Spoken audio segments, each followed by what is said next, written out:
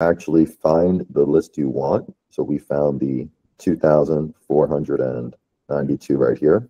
We can go off at buy save list and we can select the quantity we want. So I'm going to go select a thousand and I'll name it Florida Insurance Married 45 to 50. So you'll see that you can select the limit. I put a thousand.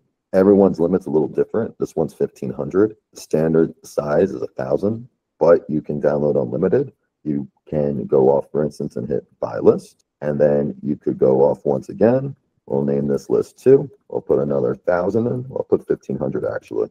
I want to show some math how this works. And then you have the ability to have it automate sending it to you daily, weekly, monthly, however you would like to do that. And it instantly gets emailed to you. And also we'll see the leads that were saved are within these two sections here. So you'll see we typed a thousand, it went down to 999. That is because it found two of the SHA 256 in the same file.